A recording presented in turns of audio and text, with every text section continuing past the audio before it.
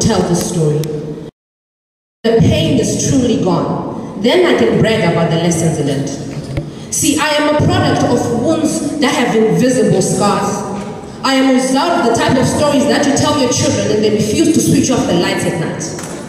At the age of four, I watched my mother take her own life. It's not a story I want to recite, but as I speak it, I know someone in the crowd will be inspired to know that stories that you keep in, those emotions that you bottle, they will turn your soul to venom. See, mine was actually turning to venom because I had questions and answered. I had not even grasped the essence of what life meant, but I was already walking with my heart in my power as I looked for comfort of the pain I actually didn't know I had.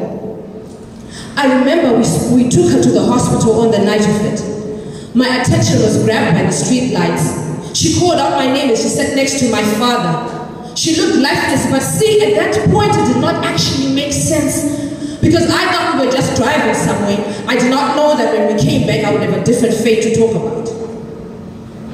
Waking up the next morning, the house was crowded with people I can hardly remember. It was uncomfortable, so I made my little self escape through the faces that looked as sad as I was confused. But see, life is a good teacher on its own. Fast forward a few years later, then death started making sense. The wound started stinging as the numbness in my heart escaped and the anesthesia that I had evaded. See, I started living and taking in the life of living without a mother. The hole, the emptiness was so thick, I could almost touch it, so I had to look for patches. I turned to men, I turned to alcohol, to fill up a hole that my soul was looking for the love of a mother I never actually had. See, life is a story, a battle on its own, but it's your choice to fight it. I had to go through therapy, step by step as I re-evaluated my worth. It wasn't an easy process, but good things come to those who are patient and those who wait. See, the world is waiting on you. Don't wait for the world to feel sorry for you. The world's not going to wait for you to finish playing your pity party.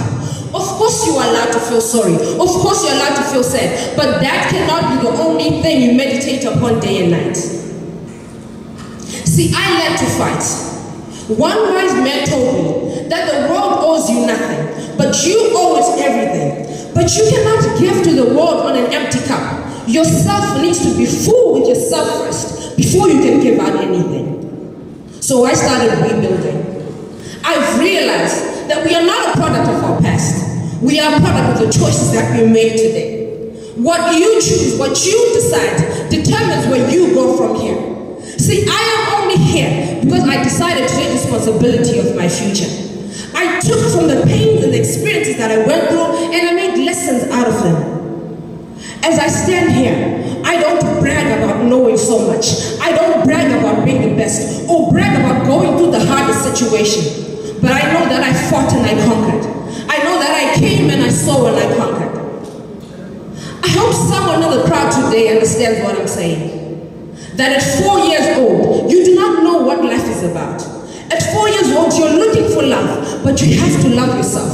At four years old, you don't know what taking care of yourself is, but you have to do it. Because that was the space I was left in. Because that was the element I had to deal with. I started blaming my father. I thought he had something to do with it.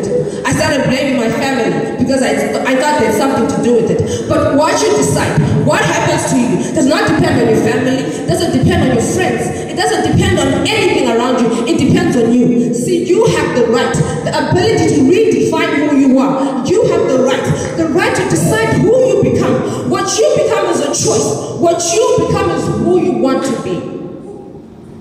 I want the world to remember you for your boldness, for your strength, for deciding to be the woman who fought to become a person and she became that. I want the world to remember you to be the person who was given the hardest situation and they fought and they conquered. When you look at me, you think I was raised by a brilliant woman, but I was raised by a widowed father.